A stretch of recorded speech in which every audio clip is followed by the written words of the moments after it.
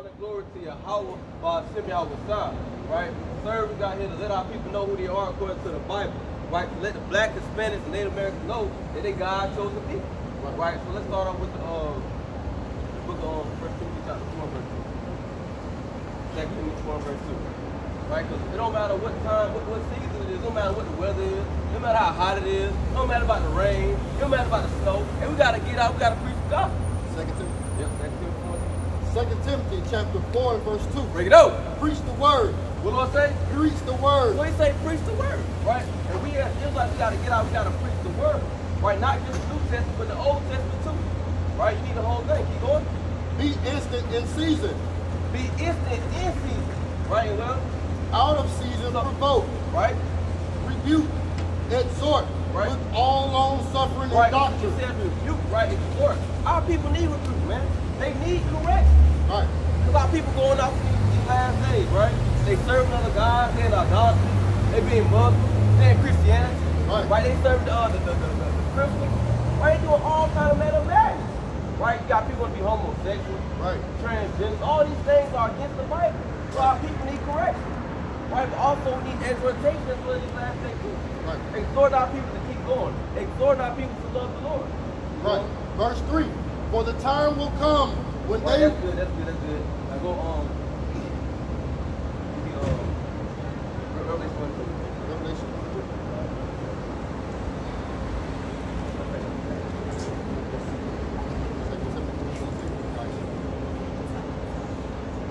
Second Timothy chapter 3 and verse 16. Bring it out. All scripture is given by the inspiration of God. So said all these scriptures is given by inspiration. Hey brother, hey Adam, you got time for the God? Couple minutes. All right, keep going. and is profitable for doctrine, Right? for reproof, Uh-huh. for correction, Uh-huh. for instruction Right, so this Bible has reproof, instruction, right? For what? in righteousness. And what? In righteousness. So this is how you this is how you become a righteous man. This is how you become a righteous woman. Right? By getting instruction from the Bible. Right? Verse 17. The man of God may be perfect, Right? truly furnished unto all good work. Alright, that's good on that. Let's move to four verse one. And that's on the old Proverbs 17.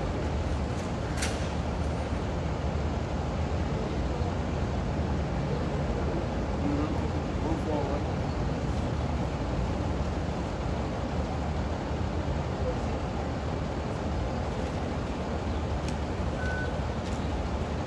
You doing, sister? You got a couple minutes for the word of God? Just a couple of scriptures. A long day. It Baruch chapter 4 verse 1. No. This is the book of the commandments of God Right? And the law that endureth So forever. we gotta understand that the law is here forever. Right? You got people that think in 2024 that law is over. That you ain't gotta keep the law no more. Because Christ came on the but that's not true. Right? So Right. in 2024 the law still stands. The law still endures, right? And they that keep it shall come to life. But it says, they that keep these laws, they shall come to life. Because without these laws, then you're dead. Right. Go to Proverbs chapter 7, verse 2. No, go ahead again. Go to Proverbs 7, 2. Hey, brother, how you doing? You got time with God? I, I, I ain't got time right now. I Got to get to work right now. Though. Well, these I, I see y'all out sometime. There you go, Gary. Take, take a fly, brother. Brother. Brother. Proverbs chapter 7 and verse 2. There you go. Keep my commandments and live. What? And live. So it says, keep his commandments and live. A lot of people don't understand this is how you really live in life, right? A lot of people don't understand that this is how, this, the thing is, when we keep, when we break the commandments, that's how we get down. It Right. said, for the way to sin is death. And you understand, you see why we in the predicament that we in now. Why we at the bottom of society. Why we in the ghetto, the slum. Because we broken God's law. Therefore, Lord has given us death and destruction. Right. But by keeping these laws, that's how you come to life. Come with faith. Hey, but you got to put me to the word of God.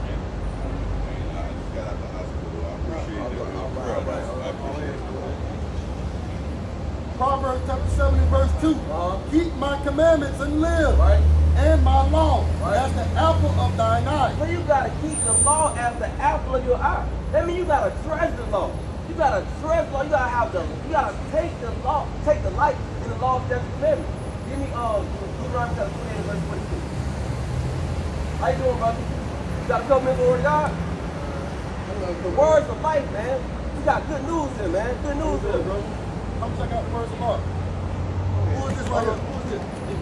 That's who? You see that Jesus? You sure he look like that? Or we gonna go to the Bible, We're gonna show you. It's, does Christ look like this? We gonna show, we gonna see, We're gonna see. We're gonna see. But he within you. He within you, but it's still important to know what he look like. The Bible tells you. Is he within you? Is this man within you? He look like that. He look like? But we're gonna see what the Bible says he look like. Revelation chapter 1 and verse 13. Get out. And in the midst of the seven candlesticks, Right. one like the Son of Man, Right? clothed with a garment down to the foot, So Christ, he had a garment down to the foot. Keep going. and girded about the paps, Right. with a golden girdle. Uh-huh. His head and his hairs were white like wool, So boom, it said his head and his hair was white like wool. Does this man like he got what white woolly hair? He didn't when he get old. No, no, no, Go no, no. Go ahead. Go ahead. Now let's be honest with me. Let's I'm just, saying, I said when he get old. He- so, when, so you think when the so-called white soul, man his soul. his soul get woolly hair? Nah, come on, Change his brother. color. Come on, nah, nah. I'm saying woolly hair is a texture. The texture of woolly hair. What people have a texture of woolly hair? It's the so-called white man have a texture. Right. Yeah, you're right. That's right. That, that's right. That's what we have that texture of woolly hair. So we know that this image, that's false right there. Keep going. as white as snow, Uh-huh. And his eyes were like a flame of fire. His eyes as a flame of fire, no? But check this out. This guy has blue eyes. That's another, that's another. And we were playing baseball right now. This man would have two strikes right now. Right now. So let's see if he's gonna get a third strike. If he gets a third strike, he's out of here. Right? Bring it up. Verse 15, and his feet unto fine brass, So now let's get this. It, it, it's not your feet the same color as the rest of your body, right? So it said his feet is like a fine brass. So what color is brass? Like a brown, right? Good. Right, right, like a. Boy. as if they burned in a So furnace. it says brass like it burnt in a furnace. So does this man look like burnt brass? Like he was walking the forest. So basically, this, this, this has to be a false image. This is a false image, right? So the thing is that Christ, he looks like me and you, a so-called black man. Right, Right? We got to understand that, Like right? Joe. Like Joe. Huh? Like Joe, Like told. Right? Right. So we got to understand that when it comes to it, that we derive from the same people as Christ. The so-called black man is the same people as Christ. You know, we just have to say it. Come, bring it up. Hebrews chapter 7 and verse 14. Right?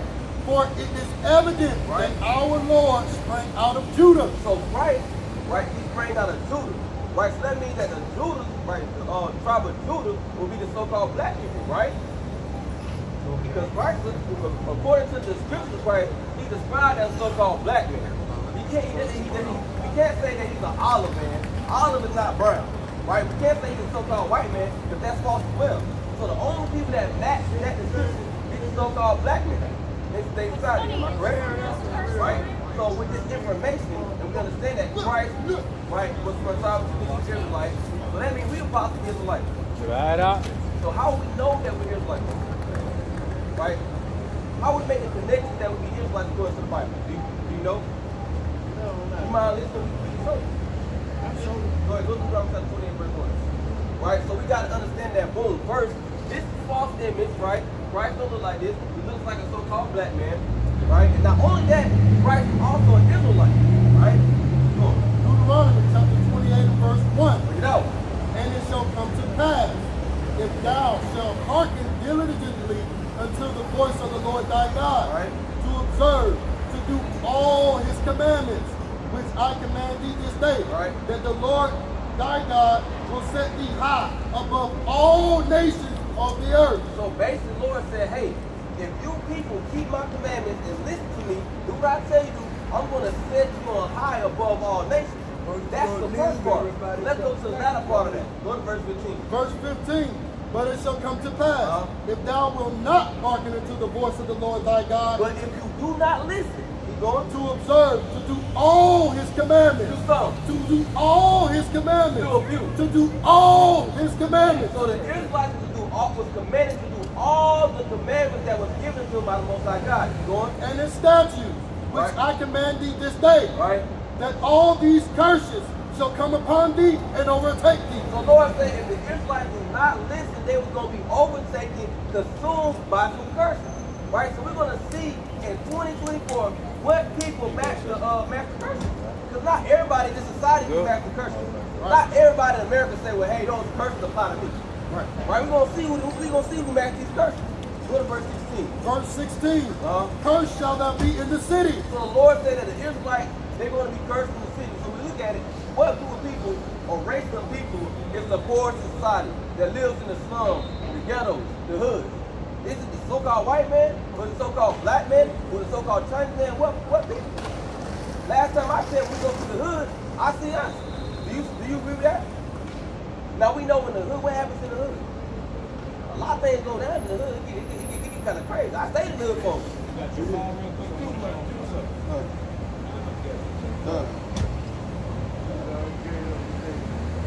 Nah, so you got, you got, you got, you got to look up ghetto for you. But you got to understand, a lot of people, they say, oh, no, so-called white man, he was he, he's in the hood. They, they, they wouldn't be like, what that one day, right? No, I'm good, I'm good. So he, he'll, he'll, he'll, you got to understand, the so-called Chinese man, I'm good, good. But, um, so we got to understand that we match these curses, right? Go to verse 16. We, we go on that. Verse 16, Uh-huh. Cursed shall thou be in the city, Uh-huh. and cursed shall thou be in the field. So not only do we live at the bottom of society, right? Hey, brother, you got time for God? Right, so not only do we live at the bottom of society, the Lord also said that, boom, and y'all gonna be cursed in the field as well. Now, when that goes into, we think about it, who was speaking cotton? Huh? I said, who was speaking cotton? In slavery, in the time of slavery, who was speaking cotton? Who was the sharecroppers? Us. Right, right, who was speaking tomatoes? Who's in the tobacco field? Exactly. Why is the Lord saying these things will happen to the to the Israelites for their disobedience. You get what I'm saying? But it, but now we see that off the rip, the white man can't say well that that applies to him. Now when he came to the slavery, he was the one making us pick cotton, but he wanted up picking it with us. Right. Right? So go to uh, verse number 37. Verse 37, Uh-huh. and thou shalt become an astonishment.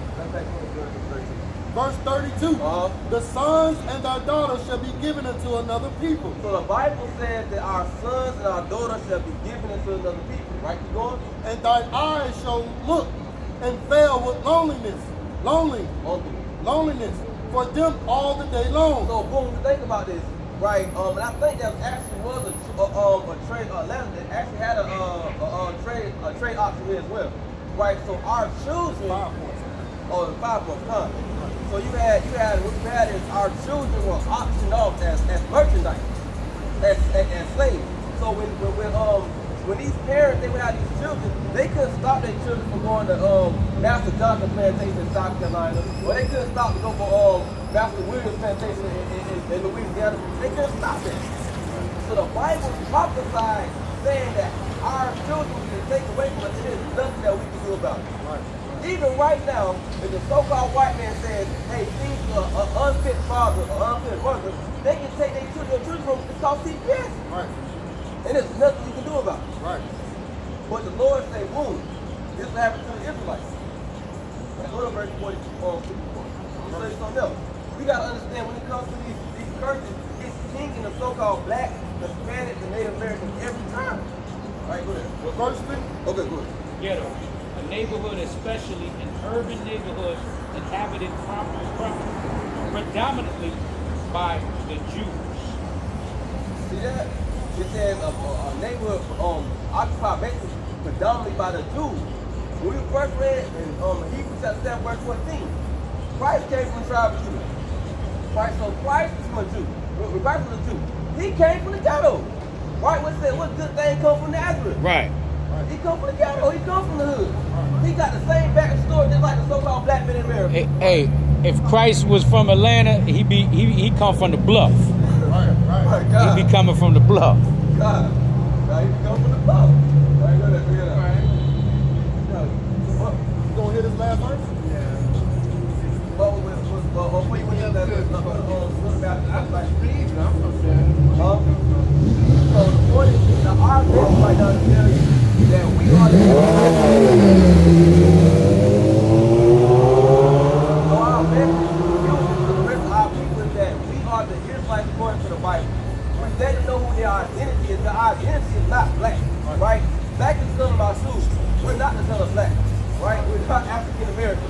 There's no such thing. A, a Puerto Rican, that means a rich port. You know what I'm saying? Like, that, that's not we really are. We are God's chosen people, Israelites. But that's just one part of the thing. It's not, it's, okay, it's, a, it's an amazing thing to be Israelite, but it's something off that the Lord said two thirds of my people gonna be destroyed. Right? So what we got, what we got to go to Matthew chapter 19, verse uh, 17. I'm gonna ask you this, uh, this is a very important question. How do you get to the kingdom of heaven? What you gotta do? Do commandments. I like, I like that. I like that. Do his commandments. Right? I'm gonna tell you. I'm gonna tell you what Christ said. Bring that up. Matthew chapter 19 and verse 16. Right, bring it up. And behold, one came and said unto him, Good master, what good thing shall I do that I might have eternal life? So somebody came to Christ like, what, what can I do to get eternal life? And we know the only place you can get eternal life is what? In the kingdom of heaven. In in the kingdom of heaven, you going? No, you going to Christ. Verse said. 17. Uh-huh. And he said unto him, Why callest thou me good? There is none good but one, that is God. But if thou wilt enter into life, keep the commandments. So Christ said, you want to get to the kingdom of heaven, you got to keep the commandments. You got to keep the commandments. Right? And give me Revelation chapter 12, verse 12. Right, I'm leaving, I'm leaving about So we, got, we understand that we got to keep the commandments, right? But that's the, that's the part where people mess up the most. That's the part where they mess up the most. A lot of our people don't know the first, the first 10, right? They don't know the dietary laws. It was dietary laws that was given to us as a people. Right? There's certain things that we can eat and there's certain things that we cannot eat. Right. You know what I'm saying? Like we cannot eat meat. Huh? Right? Do you know do you know that we can't eat pork? That would what the Bible say you're supposed to. The most I told us that we as Israelites that we cannot eat pork. You know that? Right? You think you know we can't eat strip club? So you know that? I'm gonna show you, I'm gonna show you real fast. Leviticus I, I didn't know he. Because his, uh, that law, that's, uh, Yo, what? straight to seventeen, oh, four, eleven, fifteen, not see. Right, give me Leviticus, give me Leviticus chapter 11 verse 1. But I didn't know what that meant. We'll say something. Leviticus chapter 11 and verse 1. Bring it out. And the Lord spake unto Moses Right. and to Aaron, Right. saying unto them, Speak unto the children of Israel. Speak to who? Speak unto the children of Israel. So they're speaking to us and telling us what? Say, These are the beasts that which you shall eat among the, all the beasts now on the, the earth. Uh-huh. Whosoever. He started us. So the Lord gave us a list of animals that we can eat and what we cannot eat. That's why that's why we that's what, so when I say we cannot consume it, that's where we're gonna find that out. In the book of Leviticus, that's where you find what you can and cannot eat. Right? That's where you understand boom. Leviticus chapter 11. Leviticus chapter 11 tells you, right? Because what, what's the criteria for all things for laying down? Verse 7. And the swine, do he divide the hoof and be cloven footed? Right. Yet he cheweth not the cud. Right. He is unclean to you. Right? Of his flesh shall you not eat. Huh? Of his flesh shall you not eat. So boom, the Lord said that we cannot consume the pork because he's unclean, right? He part the hoof, he's close with but he does not chew the cud. So therefore the pork is unclean. That's why we say we can't eat it. Right? So you, if somebody else tell you, a lot of people don't tell you why we can't eat it. The Bible tells you why we can't eat it. Right? So boom, go to go to the Lord. And their carcass shall you not touch. Uh-huh. They are unclean to you. Right? Verse 9. Uh-huh. These shall ye eat all that are in the waters. Right? Whatsoever have fins and scales Uh-huh. in the waters and the seas and in the rivers, them shall ye eat. So also the Lord told us that if we want to consume any animal that lives in the water, we gotta have fins and scales, right? But the, but now when it comes to animals that's in the water that doesn't have fins and scales, is what? Verse 10. And all have not fins and scales in the seas and the rivers, so this animal don't got fins and scales. What the Bible say? of all that move in the waters, and any living thing which is in the waters, they shall be an abomination unto you. So the Lord said that these animals will be abomination. So shrimp is an abomination.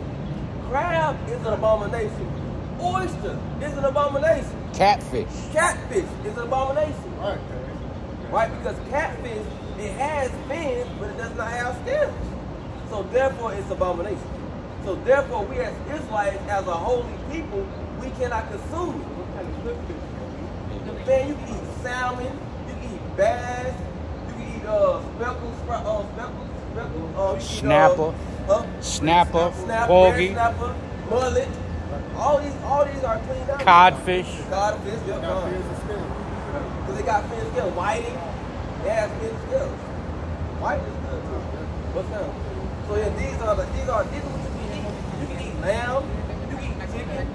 Yeah, yeah, it, it, Oh, man. yeah, I love it too. So these are animals that we can consume. Our Lord and Savior. Sell me some more lamb. but You you put me down, I had all these lamb chops. Yeah, yeah, you good, huh? Yeah, get out of here. All right, so hey, hold on. So before we go now, before we go, what, I told you our message was to our people. That what who are what's our identity? So, my own self and all that. I'm not- not- No, no. Uh, so I said we the Israelites going to the Bible, bro. We the Israelites going to the Bible, and as Israelites, we gotta keep God's law. All right, bro. Be good, brother. I be All right, good, buddy. All right. See you every time I shake. All right. Blessings.